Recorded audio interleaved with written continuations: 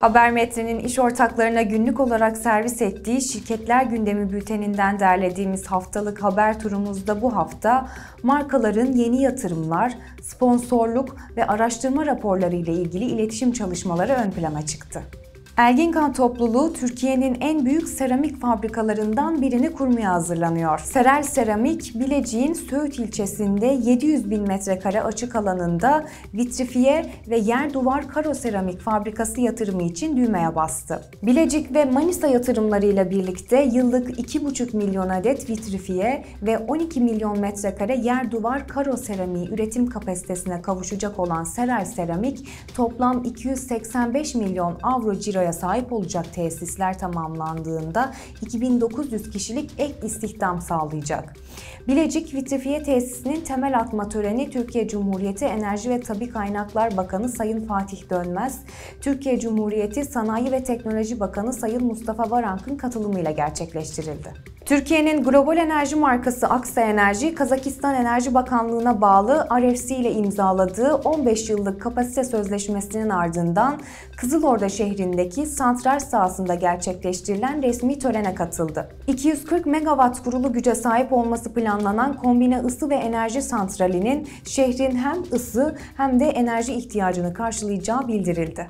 Castrol, Türkiye dahil 10 ülkede 10 bin tüketici ve otomotive yön veren 100 sektör yöneticisiyle yapılan elektrikli araç araştırmasının sonuçlarını açıkladı.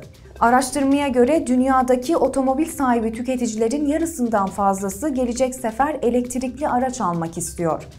Çin %80 ile en çok elektrikli araç almak isteyenlerin bulunduğu ülke olurken Türkiye'deki tüketiciler de küresel eğilimle aynı yönde niyet belirtiyor. Araştırmaya katılanların %49'u bir sonraki araçlarının elektrikli araç olmasını istiyor.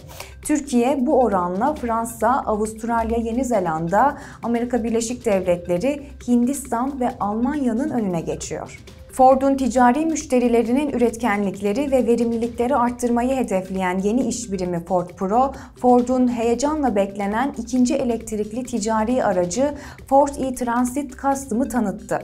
Ford Avrupa tarafından çevrim içi olarak Londra'da gerçekleştirilen global basın toplantısında Ford Otosan tarafından Kocaeli fabrikalarında üretilecek merakla beklenen tam elektrikli ikinci ticari modeli yeni e-Transit Custom'ın yeni özellik ve teknoloji teknolojileri paylaşıldı. Chery Türkiye Başkan Yardımcısı Zengai Mei, Çinli otomotiv üreticisinin Türkiye pazarına girişine ilişkin açıklamada bulundu. Chery'nin Türkiye pazarına girişiyle ilgili büyük heyecan duyduklarını dile getiren Mei, Türkiye pazarında gelişmemizle birlikte adım adım Türkiye'de bir üretim tesisi kuracağımıza ve araçlarımızı Avrupa'ya ihraç edeceğimize inanıyorum. Bu bizim 5 yıllık strateji planlarımız dahilinde dedi. Sabri Ülker Vakfı ev sahipliğinde İstanbul'da düzenlenen törenle bilim dünyasının en prestijli ödülleri arasında yer alan Sabri Ülker Vakfı Bilim Ödülü yeni sahibini buldu. Bu yıl yedincisi verilen ödülün kazananı Cornell Üniversitesi Nörobiyoloji ve Davranış Bölümü doçenti ve Nancy Peter Meaning aile araştırmacısı doçent doktor Nilay Yapıcı, sinir sisteminin yemek yeme güdüsünü ve metabolizmayı nasıl kontrol ettiği konusu üzerine yaptığı çalışmasıyla ödüle hak kazandı. PepsiCo'nun önde gelen atıştırmalık markası Cheetos, sokak hayvanlarının yaşam koşullarını iyileştirmek için çalışmalarını sürdürüyor.